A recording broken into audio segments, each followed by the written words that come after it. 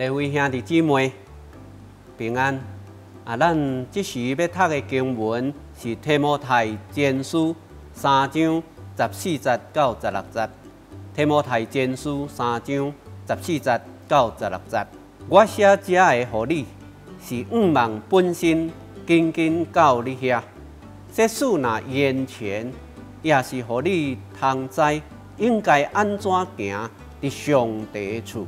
就是真我上帝教会真理的条则甲地基，大敬虔的奥妙，无人毋掠做得，就是伊显现伫肉体，称作义伫神，出现伫天使，宣传伫外邦，互人信伫世间，接纳伫阳光。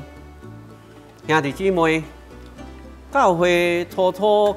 建立的时，面对挑战是必然的。特别的是，为着教会发展的久长久性，就必须要有信仰的教导以及教义的辩证。对这段经文，咱知影教会面对一个严重异端的兴起，有可能是针对耶稣基督。身份本质就是咱在讲这个基督论有无同的看法。地教作者非常紧急声批说明，教会是上帝家，信徒就是家内的兄弟姊妹，应该彼此相听和合来对抗啊，这存在的异端。所以经文十五节讲起。教会是真理的调节甲地基，哦，就是这款的意思。毋过十六节线接得讲一个大的奥妙，就是耶稣基督的真理。伫这个所在，咱可能会有淡薄仔疑问：真理的调节甲地基，毋是指耶稣吗？其实。新约圣经拢是安尼的表示，佮根据咱改革中的理解，教会的调节照盘毋是彼得，应该是指耶稣。所以，咱要安怎了解这个经文呢？若是咱要阁会记得，这个提摩太前书批信的目的甲背景，可能咱就较会理解。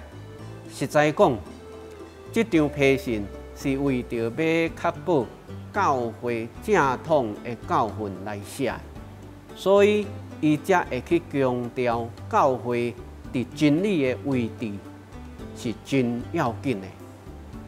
毋过加在后面十六节，伊随时补充讲，耶稣基督才是真理的主体。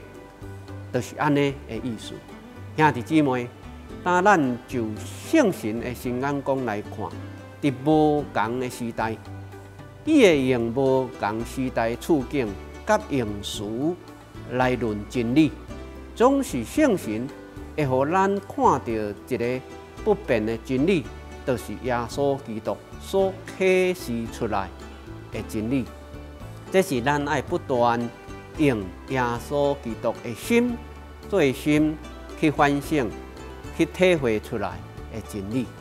所以兄弟姊妹，在咱现在的处境的中间，通过圣神甲主耶稣的心眼光，你有看见什么款的真理？在现世代，你必须爱甲教会、甲你所听的兄弟姊妹讲的，有无？兄弟姊妹，咱会当去想，伫现世代检测对主耶稣基督的心，你会当体会到，你对一寡议题、对一寡代志的看法，你真要紧要甲兄弟姊妹讲，耶稣基督的真理是虾物？那呢，请你想看卖，迄是虾物？请你大胆讲出来。兄弟姊妹，咱即时三甲来祈祷。希望上帝愿你真理的话，亲像种子栽种伫阮兄弟姊妹达人的心内的土地。各愿圣神亲像雨水，时常灌压阮心内的残垣，互真理的树大长结子，互上帝国伫地呢，亲像伫天呢。祈祷靠耶稣基督的圣名，阿门。